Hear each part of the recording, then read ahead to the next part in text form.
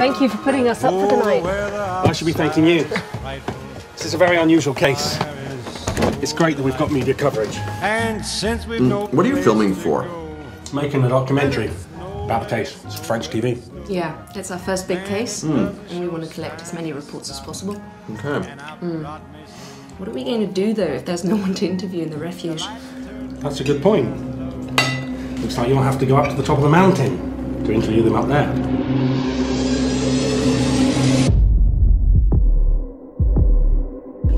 Totally out of your mind to do such things to poor defenseless animals.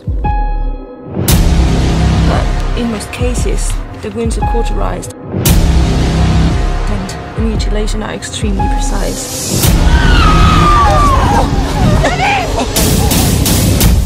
So it can't be the work of an animal.